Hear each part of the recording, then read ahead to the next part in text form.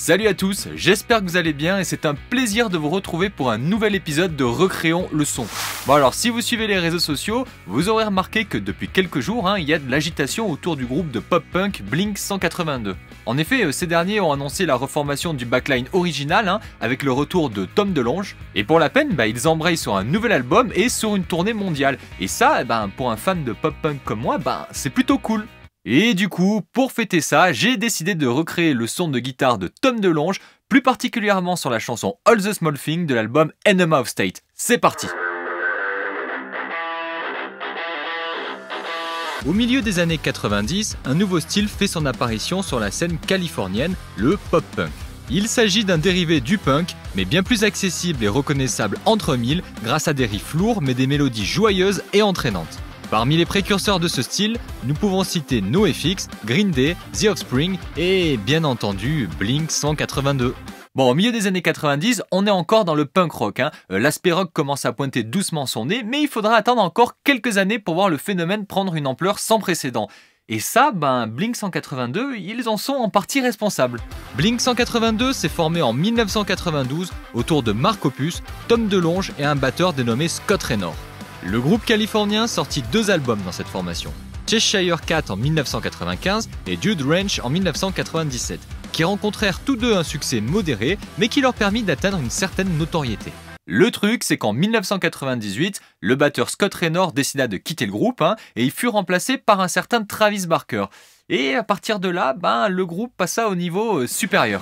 Soyons honnêtes, Travis Barker, c'est un phénomène probablement un des batteurs les plus talentueux de sa génération. Grâce à ce dernier, la formation est désormais solide et se concentra sur la production d'un troisième album qui marquera le monde du punk rock, j'ai nommé Enema of State. Rapidement, ce style va s'imposer auprès des adolescents fans de skate et devenir un véritable phénomène mondial. Les chansons de Blink seront utilisées dans les BO de films comme American Pie, des jeux vidéo avec la série Tony Hawk's, mais passeront également en boucle sur MTV. Et oui, parce qu'il faut savoir qu'à sa sortie, hein, l'album Enema of State fut un succès, hein, avec pas moins de 500 000 copies euh, vendues dès les trois premiers mois, et aujourd'hui on estime son nombre de ventes à 16 millions d'exemplaires. Rendez-vous compte En plus de ça, le groupe a enchaîné euh, les succès au fil des années avec de nombreux albums et a carrément influencé euh, toute la scène punk rock californienne des années 2000. Ok, maintenant que vous situez un petit peu mieux le groupe, on va regarder comment recréer le son de guitare de Tom DeLonge sur l'album Enema of State et comme je vous l'ai dit, plus particulièrement sur All the Small Things. Alors ce qu'il faut savoir, c'est que l'album a été enregistré dans plusieurs studios répartis entre Los Angeles et San Diego, mais le matériel et les techniques d'enregistrement sont restés les mêmes. Et comme on était en 1999, eh ben, tout l'album a été enregistré en analogique.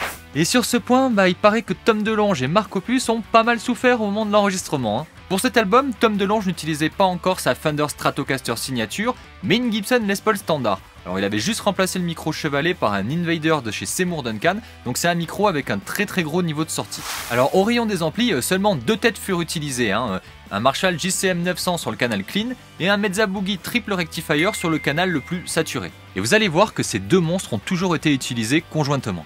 Alors niveau câble, ils n'ont pas fait dans l'originalité, ils sont partis sur le 4x12 standard de la série Rectifier de chez Mezza Boogie, monté en V30. Voilà, et puis pour la chaîne de son, c'est à peu près tout parce qu'ils ont utilisé très peu de pédales d'effet euh, sur l'album Enema of State et encore moins pour la chanson All the Small Things. Alors du coup, ben, je vous montre ma version de All the Small Things et ensuite on va regarder ensemble comment j'ai fait pour me rapprocher au maximum euh, de la version originale. Allez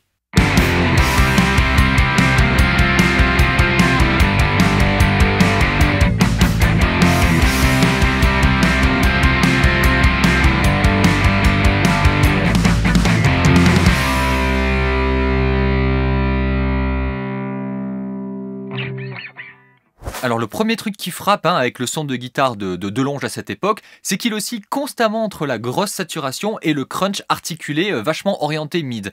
Et euh, pour ma part, ça a été le plus gros défi hein, d'arriver à recréer cet effet-là. Alors pour la guitare, oui, j'ai utilisé une Epiphone, mais euh, attention, alors déjà c'est un modèle des années 90, et puis ensuite elle a été complètement modifiée. Alors aussi bien au niveau des micros, de l'accastillage, de l'électronique, des mécaniques, du scié.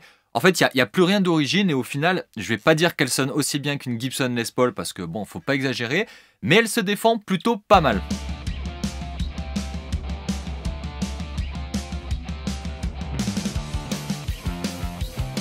Par contre, elle reste moins violente que celle de Delonge hein, avec les micros Invaders. Hein. Alors niveau ampli maintenant, le Marshall JCM 900 a vraiment été utilisé euh, pour le côté crunchy et chargé en mid, alors que le Mezza Boogie Triple Rectifier était plus utilisé pour la grosse saturation, les basses et les aigus. Ce qui est drôle, c'est que le JCM 900 fut vraiment utilisé sur le canal clean, hein, mais il était tellement poussé à bloc ben, qu'il venait à saturer naturellement. Malheureusement pour moi, je ne possède pas de JCM 900, euh, d'autant plus qu'il s'agit d'un ampli relativement médiocre. Par contre, j'ai utilisé ma tête Engel Rockmaster 40. Oui, parce qu'en cherchant des infos sur le net, je me suis rendu compte que la série Rockmaster de chez Engel euh, avait été créée dans le but de, reproduire un petit peu le son hard british des années 90, et dans les années 90, euh, chez Marshall, ben, c'était le JCM 900. Hein. On utilisait encore des JCM 800, mais la dernière version, c'était la 900. Et puis, un petit peu comme les premiers modèles, la Engel est montée en NEL34. Donc je me suis dit, euh, je pense qu'on est assez proche. Pour me rapprocher au mieux des sonorités du JCM 900 de Tom, euh, j'ai décidé d'utiliser le canal clean du Engel, j'ai poussé le gain relativement fort, j'ai baissé les basses, j'ai poussé les mids et les aigus. Euh, la prise que vous allez entendre a été faite dans mon Isocap Box of Doom avec un V30, voilà, un petit peu comme sur le Mezza qu'ils ont utilisé. Je vous fais écouter ça en isolé.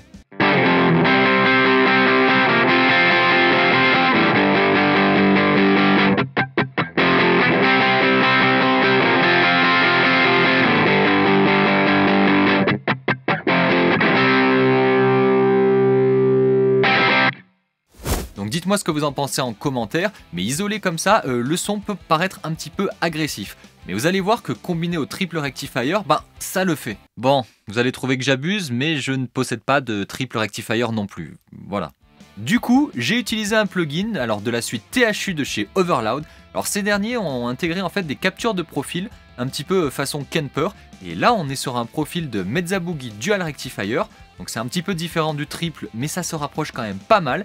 Et euh, eh ben, regardez le son que j'ai utilisé, vous allez voir.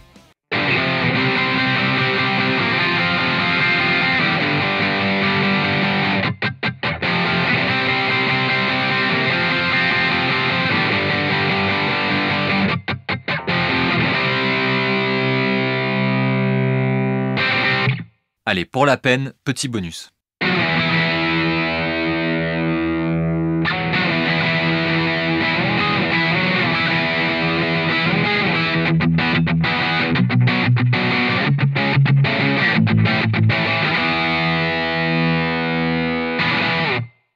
Voilà, en gros, euh, le son de guitare de Tom DeLonge sur cet album, c'est plus ou moins le mélange de ces deux amplis.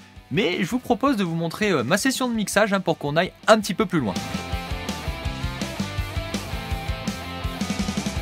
Alors je vais rapidement passer euh, sur la partie basse et batterie, parce que vous allez voir, elles sont quand même importantes, mais on va rester simple. Alors en gros pour la batterie euh, j'ai tout simplement utilisé le logiciel Toontrack 2 euh, mais avec une extension dédiée au punk. Voilà, euh, j'ai simplement détuné un petit peu la, la, caisse claire parce qu'elle était un petit peu trop aiguë, fait quelques petits ajustements mais c'est à peu près ça. D'ailleurs ce que je vous propose c'est que je vais vous faire écouter le son de la batterie tout seul.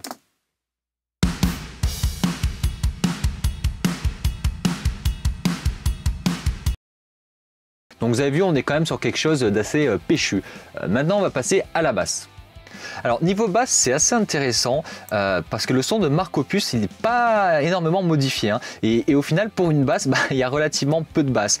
Alors ce que j'ai fait c'est que j'ai utilisé euh, le logiciel Easy Bass. Alors avec un preset j'ai bien sûr fait quelques, quelques petites corrections euh, notamment en coupant pas mal le bas comme vous pouvez le voir sur cette égalisation. Voilà comme je vous ai dit il n'y a pas énormément de basse hein, dans le son de Mark Opus. ensuite bah, qu'est-ce que j'ai fait? Tout simplement ajouté une légère saturation avec le J37 de chez Wave Hein, que vous avez déjà vu passer. Et euh, j'ai rajouté un petit peu de, des fréquences euh, on va dire intéressantes avec euh, une émulation de Pultec. Voilà j'ai un petit peu boosté un petit peu, un petit peu légèrement le haut et fait un truc avec l'atténuation sur le bas du spectre. Et enfin un léger compresseur voilà pour, pour tenir un petit peu le tout et d'ailleurs, ce qu'on va faire, c'est que je vais tout de suite vous faire écouter la basse et la batterie eh ben, ensemble pour que vous voyez.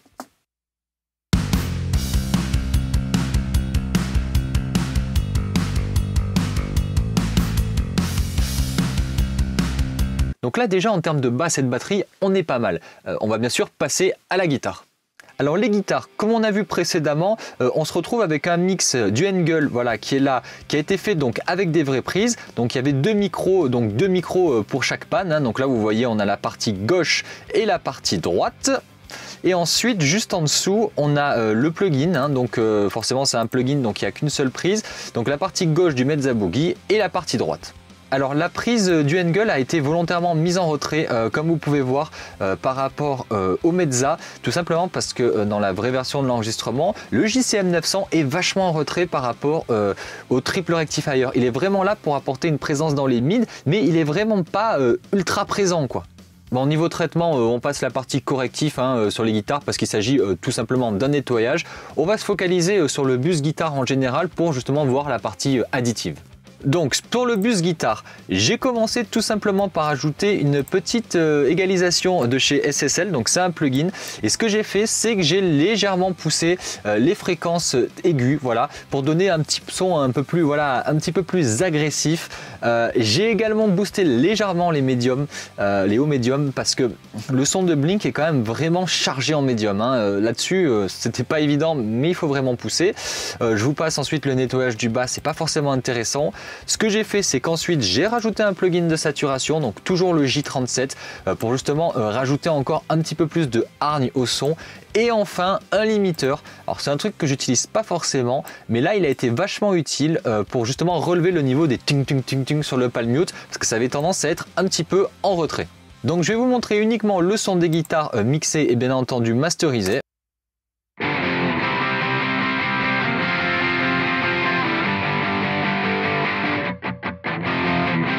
Et on va refaire la même chose dans l'ensemble du mix.